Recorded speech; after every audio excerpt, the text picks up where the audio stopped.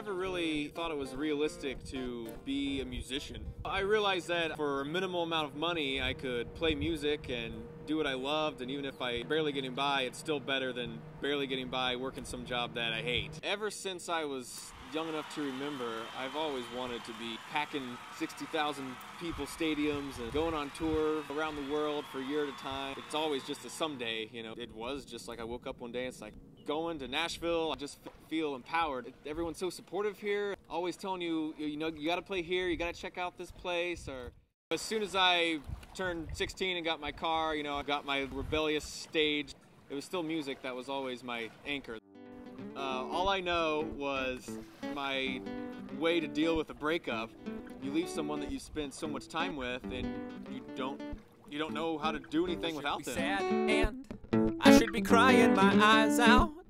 I should consider my options be forming alternate eternities, you know, but I have. I've been lucky before I know.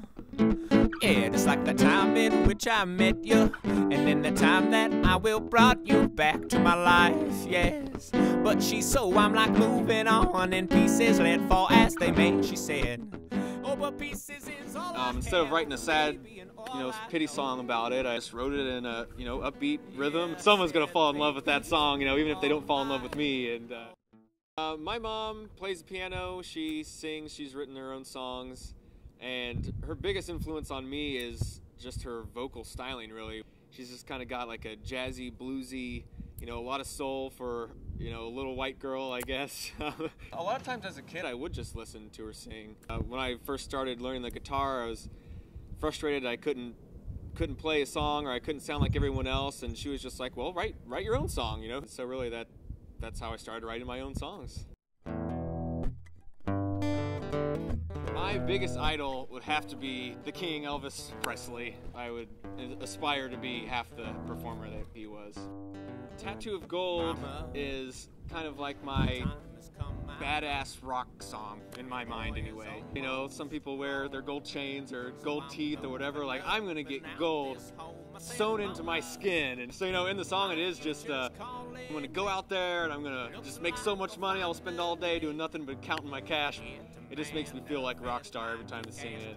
So I'll have a tattoo of gold and talk to ladies and the one man more than imagine. Now I said, Mama, I ain't coming home. I ain't coming home. To Mama.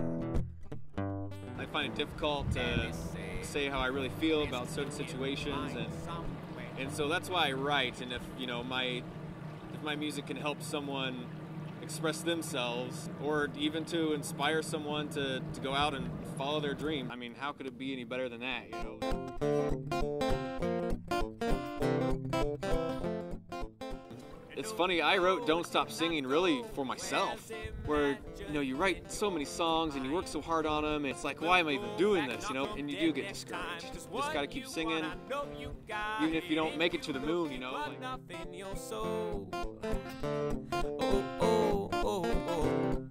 What you want, I know you'll find it. It's already in your heart and waiting for you make me so proud to go back and you know hold like a free concert there at the Fairfield Park in Casey, Illinois, and everyone in the whole county comes to see me and have a sign, welcome to Casey, home of singer-songwriter Aaron Crites, you know. So baby, keep on singing every time you get off tune. Yes, and maybe you could love me too.